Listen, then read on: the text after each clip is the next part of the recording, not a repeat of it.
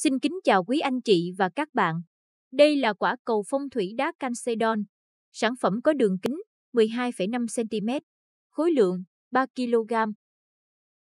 Quả cầu được làm từ đá Calcedon tự nhiên có những đường vân tự nhiên rất đẹp, sở hữu một nguồn năng lượng dương rất lớn.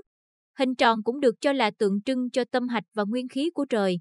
Do đó, vật phẩm phong thủy này thường được mọi người lựa chọn để đặt trong phòng khách, thư phòng hoặc phòng làm việc với ý nghĩa giúp chủ nhân có được sự may mắn, tài lộc, phát triển trên đường công danh, sự nghiệp.